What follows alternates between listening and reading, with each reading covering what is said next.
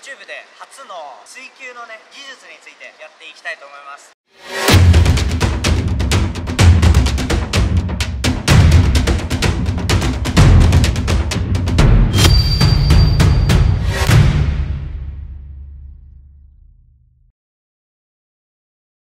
ちは荒谷です、えー、本日はですね YouTube で初の水球のね技術についてやっていきたいと思います。で今日やるのはシュートなんですけどタイミングをねずらして球が遅くても入るようなシュートを教えていきたいと思います。でこれ結構いろんなね水球教室とか行って新井選手どうやってやってるんですかとか聞かれること多いんで YouTube で公開していきたいなっていうふうに思います。でこれは僕の打ち方であって全員が全員これをしろっていうわけでもないので自分のものにしていただけると、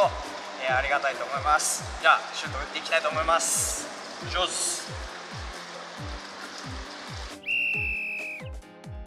シュートテクニック。タイミングを外すシュートですね。で水球の人たちはみんな1.5っていう呼ぶかな。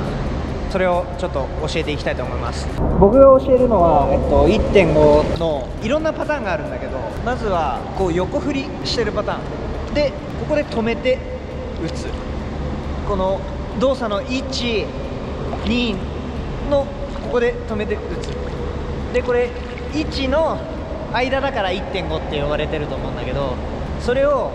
ちょっと打っていきたいと思います。でこれのコツはしっかり止めること。こう横振りしててしっかり途中で止めてから打つ。じゃあ行こう。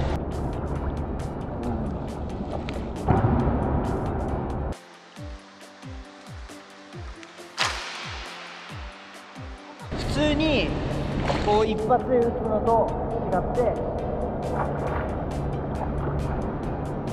キーパーが飛べないタイミングで打ってくる。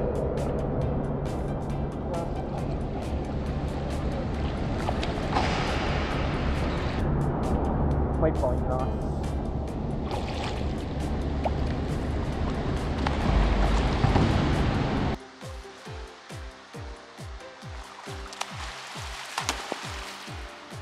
これが、えっと、1.5でこの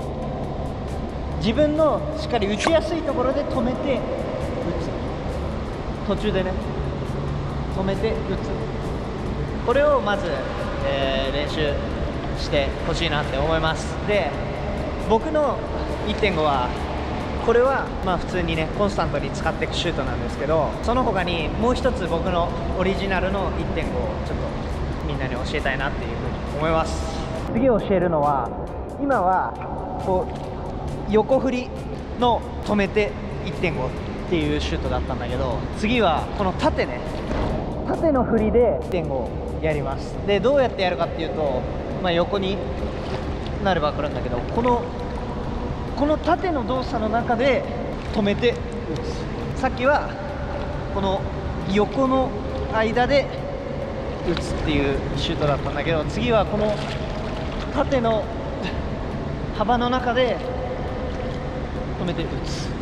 これのコツとしてはさっきも言ったようにここまで持ってきちゃうと力が入んないから強いシュートが打てないんだけど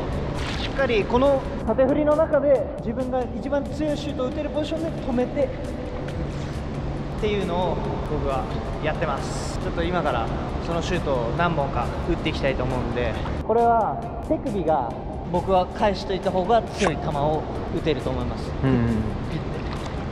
手首ここまで持っていっちゃうとここからだと手首の幅がないんでしっかり手首乗せて打つイメージで。いきます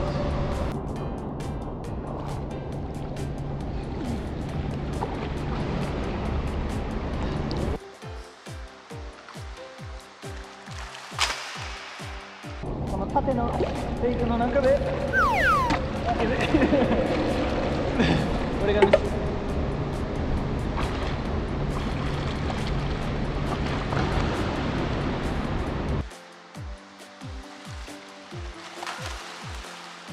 このフェイクの中でキーパーを見ながら止めて打ち分ける最後。手首で最後。止めて手首で打ち分け。る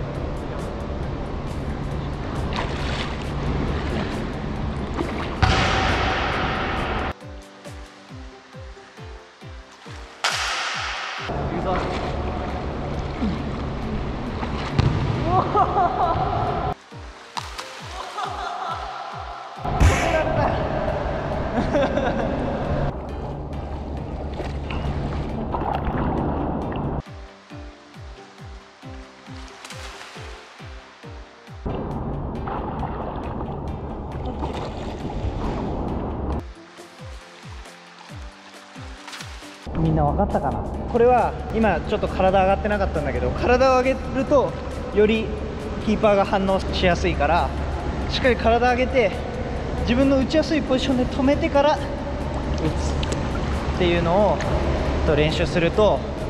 簡単にシュートが入ると思います。で僕は日本の代表の中でも球速も遅いし世界行ったら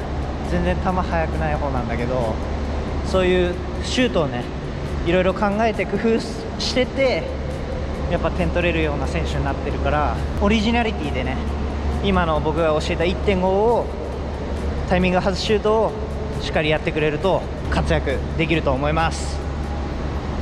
れ様でした、えーどうだったでしょうか？難しいねことだと思うんですけど反復してやることでできてくると思うので、えー皆さんも挑戦してやってみてください。水球の動画ねこんな動画がやってほしいとかねそういうのがあればコメント欄に残してもらうと嬉しいです。この動画がいいと思ったらグッドボタンとチャンネル登録よろしくお願いします。じゃあまた次回の動画で。